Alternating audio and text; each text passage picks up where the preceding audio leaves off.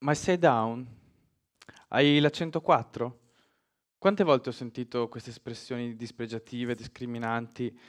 Ehm, perché appunto io vivo in maniera indiretta la neurodiversità e per chi la vive eh, sono macigni sul cuore. Quindi spesso mi sono chiesto come mai abbiamo questi atteggiamenti discriminatori e perché è importante avere, parlare un linguaggio inclusivo. Eh, innanzitutto, eh, per partire, è importante eh, capire che tutti i nostri comportamenti hanno un'influenza negli altri, quindi non ci sono comportamenti neutri. Alcune espressioni dispregiative, tipo eh, handicappato, per, ehm, eh, dislessico, eh, mongoloide, cosa vanno a fare? Vanno a far coincidere, oltre ad essere orribili, vanno a far coincidere quella che è soltanto una parte di quella persona nel tutto, quindi diventano oppressive.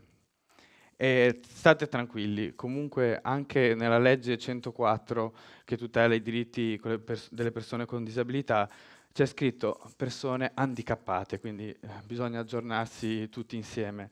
E no, sarebbe meglio dire persona con disabilità, persona con disturbo mentale, e, ma non è un processo semplice, infatti è un processo collettivo perché da, eh, questi errori derivano dall'abilismo, che è una mentalità che è stata vige- vigente fino, questo, fino, a questo momento, in cui eh, si presuppone che tutti abbiano dei corpi abili e chi non ha un corpo abile allora ha un difetto e la diversità non viene considerata una varietà umana, ma appunto qualcosa di negativo.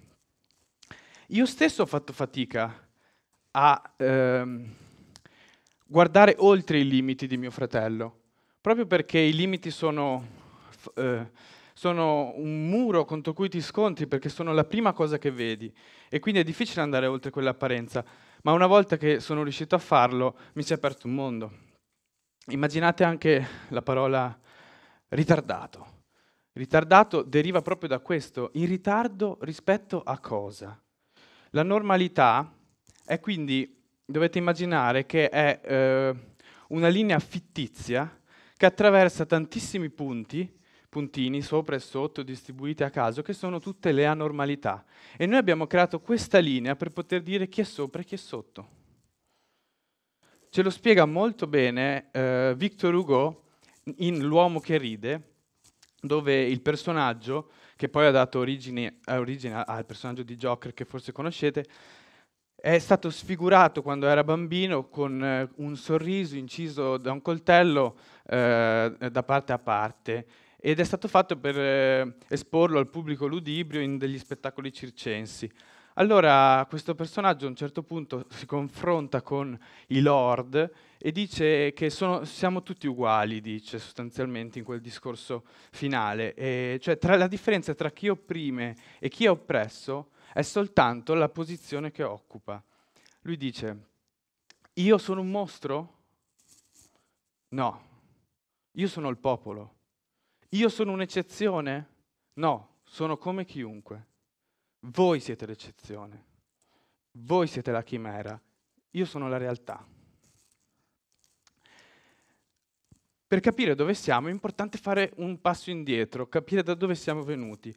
E brevemente, per darvi un'immagine, una sensazione ecco, di come si poteva vivere la neurodiversità anche nei secoli precedenti, eh, mi riferisco alla nave dei folli, che è poi stata ripresa anche da Michel Foucault e analizzata, ed era questa, questo battello che veniva, come dire, in cui si ospitavano delle persone considerate non sane di mente e poi il battello prendeva al largo e forse era anche l'ultimo viaggio perché il mare, l'abisso, insomma, con le sue pericolosità può eh, facilmente trarre in inganno. E quindi il, Michel Foucault lo analizza non soltanto come un modo per allontanare eh, la, la follia, eh, per non averla in casa, ma anche come una rappresentazione della paura che il genere umano ha spesso, sempre, avuto nei confronti di chi è diverso, di chi appare come diverso o misterioso.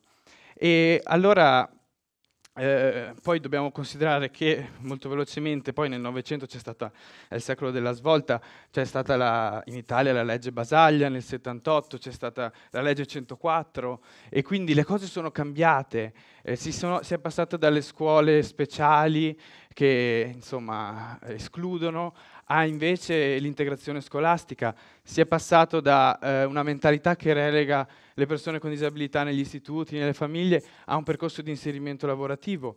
Le cose sono cambiate, c'è ancora molto da fare, sì, ma siamo sulla strada giusta. E eh, chi è che ce l'ha detto questo? Chi è che ha eh, chiesto davvero questo cambiamento? Lo hanno fatto le persone che lo vivono, lo ha fatto la società e quindi i Disability Pride, che negli ultimi anni hanno portato in piazza, nelle strade, un moto di orgoglio, di rabbia, di riscossa, ma soprattutto di orgoglio, di essere visti, di essere guardati in modo diverso, di chiedere pari opportunità. E quindi il progresso, eh, il progresso fa fatica ad attecchire eh, perché costa e quindi eh, molte volte mh, a integrare il processo si fa un po' più fatica perché eh, si fa presto a guardare dall'altra parte, quindi non per incapacità di risolvere il problema, ma perché è più facile guardare dall'altra parte. Un po' come con i limiti, è più facile guardare ai limiti degli altri piuttosto che guardare ai nostri, guardare dentro il nostro abisso. E quindi allora adesso siamo davvero in un momento di cambiamento, ve lo posso assicurare ed è, eh, e si capisce anche analizzando quelli che sono stati i cambiamenti del passato, come eh, la protesta di Martin Luther King, la marcia su Washington, il famoso discorso I have a dream that one day my nation will rise up. One day, quel one day rappresenta il futuro, quindi rappresenta una prospettiva lontana eh, e si usa infatti eh, la, eh, la parola will, ma in realtà la società non dice il futuro. La società, testimoniando la sua presenza in massa alla protesta, dice il futuro è oggi, non è un giorno. Quindi la minoranza ci ha chiesto un cambiamento, spesso non rappresentata la minoranza, e oggi noi siamo tenuti, secondo me, a cambiare, a innovarci, a cambiare modo di parlare e di guardare la diversità. E cosa succede se non lo facciamo? E rispondiamo quindi all'inizio perché è importante avere un linguaggio inclusivo. Allora, eh, diciamo che se noi non ci consideriamo delle persone violente, verbalmente violente, ma non ci poniamo tutte queste questioni, rischiamo di essere delle eco stanche di antichi pregiudizi. Il linguaggio scorretto, infatti, si può paragonare alle cozze cioè rimane attaccato allo, rimane attaccato allo scoglio fino a che non viene strappato con violenza. E lo dice bene Gramsci con eh, la famosissima frase l'indifferenza opera nella storia, opera passivamente, ma opera. È la materia bruta che strozza l'intelligenza. Quindi ehm, diciamo che se come si dice dimmi, come, eh, dimmi quello che mangi e ti dirò chi sei, noi possiamo dire fammi vedere come parli e ti dirò chi sei. Questo anche per chi vive la diversità, chi vive la disabilità in prima persona. Riguarda tutti, perché in quel caso è importante non spettacolarizzare il dolore, non essere melensi e quindi non ehm, diciamo, respingere eh, gli altri o eh, avere un tornaconto con questo. Qualcuno potrebbe dire, ma non si può più dire niente. Ma chi dice così è perché vive in una gerarchia che fa comodo a quella persona e quindi non la vuole cambiare. Il, le parole non sono soltanto parole, le parole sono reali, come sappiamo bene eh, l'immagine che ci ha dato Orwell, no? che se si rimuove la, la parola libertà allora, dal vocabolario, allora anche i cittadini perdono quella nozione, perdono quel concetto.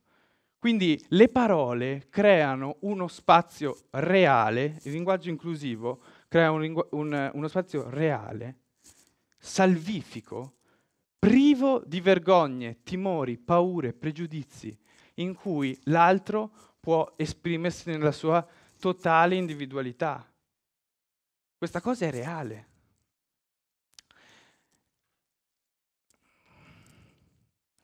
Quindi io davvero penso che eh, la diversità sia una ricchezza. L'ho vissuto sulla mia pelle, con la mia esperienza. Conoscere mio fratello mi ha dato tanto.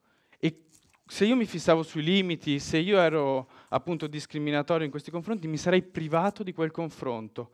La, la, diversità in generale è un arricchimento, bisogna cambiare punto di vista, non bisogna pensare di fare qualcosa perché ce lo impone la società, il cambiamento e annoiarsi di questo, no, è il contrario, è un arricchimento, è un vantaggio. Scoprire mondi diversi ti permette anche di scoprire meglio il tuo di mondo, la tua interiorità. E c'è un, una frase bellissima che ho rigliato dalle lezioni di filosofia della mia fidanzata, di Levinas, che dice, l'altro ci riguarda perché, non perché è come me, ma perché mi parla. La sua parola è un appello all'uscire da me stesso e aprirmi all'incontro. Nell'incontro, nella verità dell'incontro, si rivela l'umanità dell'essere, la sua vulnerabilità. Quindi anche ci aiuta ad uscire dal nostro narcisismo patologico potenziale che abbiamo. E quindi quello che volevo comunicarvi è proprio questo, che non dobbiamo pensare di aver capito la diversità, ma dobbiamo metterci in moto. È una sfida, è un allenamento. È, perché? Per, sapete perché? Perché la diversità è eh, volatile, cambia, mutevole, è, costantemente uh, diversa, appunto scusate il gioco di parole, però eh, noi non possiamo pensare di essere arrivati. Eh, quindi dobbiamo sempre essere, è più che altro una predisposizione d'animo, quella che, che è il mio augurio. Ecco. E, ehm, se qualcuno o qualcuno insomma, fa dei pregiudizi, ha, delle, ha degli atteggiamenti discriminatori nei confronti di chi è diverso, che cosa dobbiamo fare? Io vi propongo di essere come i cavalieri erranti, eh, che eh, con, la loro, con la loro forza proteggono chi è più debole e chi non si può proteggere da solo. E quindi, seguendo questa figura del Don Quixote, ehm, noi dovremmo cercare sì, insomma, di eh, smontare il pensiero discriminatorio, magari anche con ironia all'inizio, semplicemente facendo una battuta, dicendo sei fuori eh, da ogni logica, provando a capire se c'è un terreno in cui fare una discussione. E comunque state tranquilli che eh, non sarete come Don Quixote, che era fuori dal tempo, perché eh, ha vissuto in un'epoca in cui la cavalleria ormai era finita. State tranquilli che se sarete cavalieri erranti, siete dentro il vostro tempo.